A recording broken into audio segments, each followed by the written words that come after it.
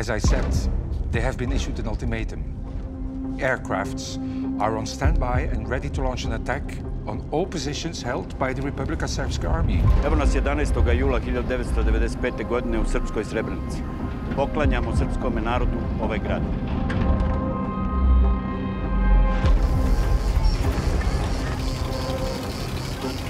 Ljudi, baza je puna.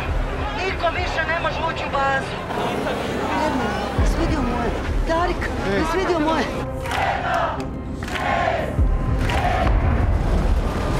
Nema potrebe da ginu. Ni vaš muž, ni vaša braća, ni vaši komši. Gdje uniform? Smo civili. Pa s kim ratujemo četiri godine? Jebem vam, majku vam jebem. S kim? Sve civili.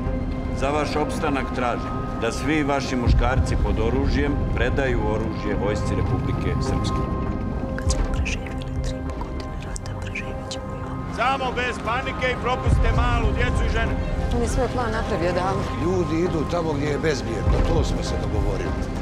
Zeiden dat we de cijfers niet moesten opnaaien. Start leaving the base in an orderly fashion. What is the point of having an ultimatum if you don't deliver?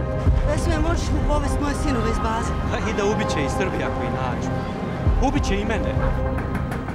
Colonel Karremans, they are killing people outside.